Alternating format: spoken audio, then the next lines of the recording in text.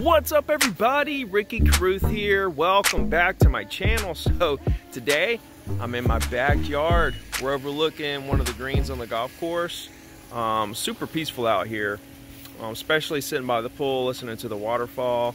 Um, really kind of a dream come true kind of deal and um, really enjoying it to be honest with you. And that's what you have to do, man. The little things in life, you just got to sit back and enjoy them. It's not all about you know, trying to advance to the next level in life all the time. At some point, you have to, you know, reap what you sow, sit back and enjoy the fruits of your labor. So that's what I'm doing to a certain extent. I am still staying super busy. So today, the National Association of Realtors came out with their April numbers. Okay, so before I get into the numbers, I'm going to be in my second YouTube channel. It's probably going on right this second as you're seeing this video. I'm going to put a link in the description. It's going to be me and Steven Martinez out of Orlando, and he is going to be cold calling for sell by owners. This guy is an animal with for sale by owners. Um, so I can't, I've never heard him on the phone. So I really can't wait to see um, his skill level, like where he really is, because he really talks a good game. So I want to see if he can back it up. So definitely go over there and check that call session out. It's going to be very interesting. So the numbers, okay, our April numbers. This is very interesting because April was, I want to say, one of the scariest, maybe even could be, maybe even a debatable uh, subject could be if April is the, the scariest month in the last hundred years in, in the world. One of the scariest months over the last hundred years on earth okay? Possibly could have been, who knows? But when you look at the real estate markets and the numbers that we're putting up, it is quite amazing. And this goes out to all of you agents who have been sitting on the sidelines, sitting there, you know, saying that the market's at a standstill. I want you to look at all this business that you've been missing out on. Okay? Number of transactions were down 18% okay? When we look back at the March pending numbers, the March pending numbers were down 20%. So, you know, what went pending in March normally is probably close to what's going to close in April.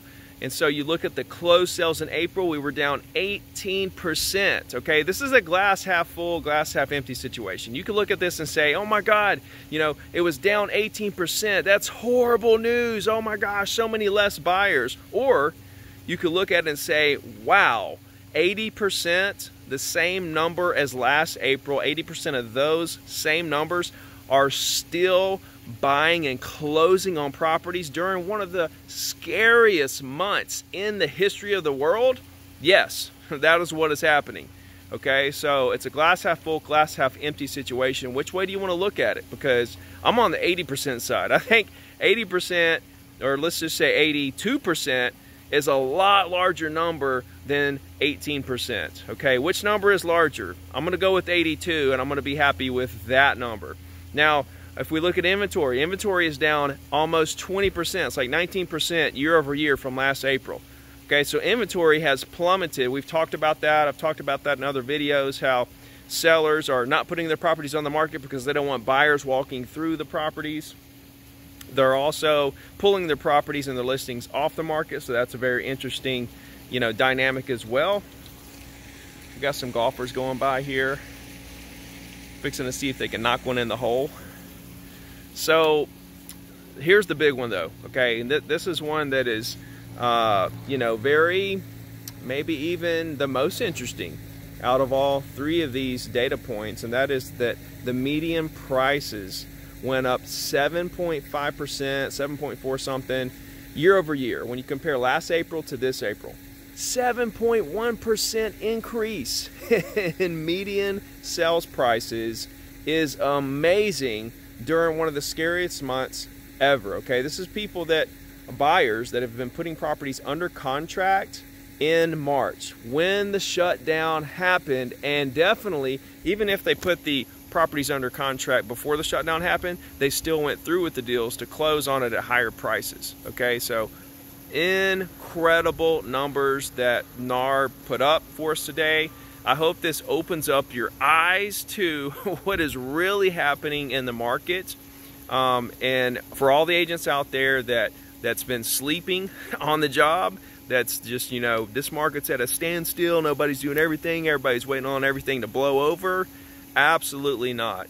The numbers are staggering, and I'm telling you right now, when we see the April pending numbers that are going to come out, that's going to come out here shortly, you know, like in a week, I cannot wait to see the pending numbers for April across the country uh, for, for, for the and when they come out. It's going to be staggering when you see the amount of activity that's going on. And I'll just repeat what I've been saying in many, many videos.